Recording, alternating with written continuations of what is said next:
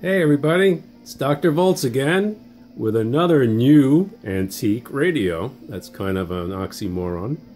But anyway, um, here it is. It's a Westinghouse H104. This radio was was marketed, built in 1948 by Westinghouse. It's a big boy. It's a big table set. Um, very kind of cool looking with these louvers and everything, sort of like a Darth Vader Robby the Robot kind of look. Um, and here it is playing on an AM station.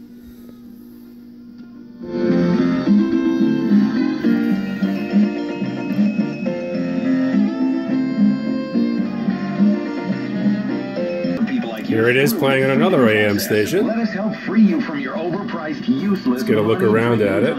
We're the leaders in the industry with Big and massive wood stuff and going on here. And we offer a 100% This thing weighs about 32 pounds, believe it or not. the freedom process now. Call us at It's got a real big sound. That's 877 90 cancel. 877 90 And uh, the speaker's been reconed on it actually, and restored thoroughly by me, Dr. Voltz.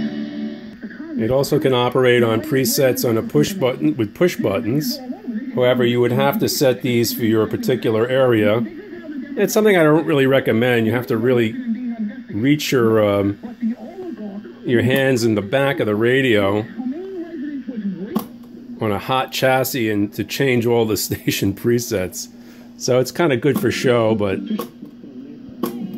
I think if I were you, I would just, and I would, I would rather use it on the dial, on the regular dial here, and then you can just tune it any way you want manually.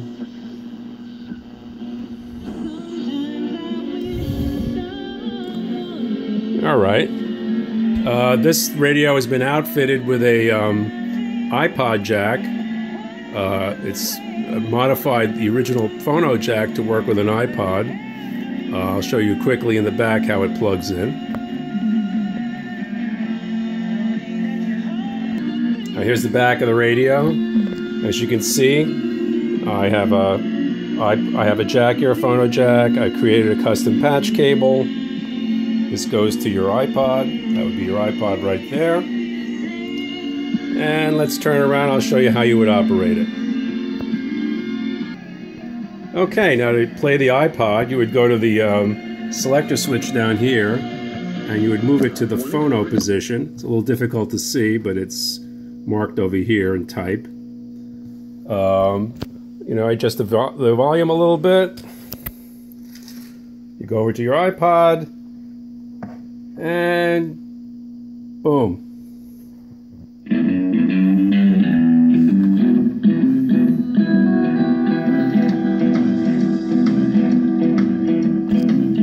When you came in Bass and treble control.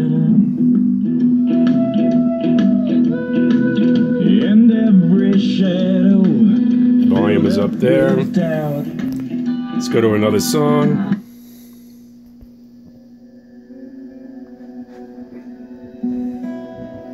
Try to give you a better look at the radio. By the way, this has been refinished with lacquers as it was done originally.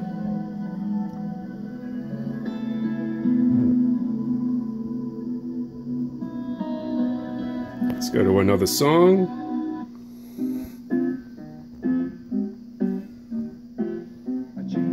Okay, that's about it. A Westinghouse H104. Um, it's going up for eBay auction under Dr. Voltz. Um, starting January 26th, Sunday, January 26th, for one week. Again, this is Dr. Voltz, and I thank you for looking.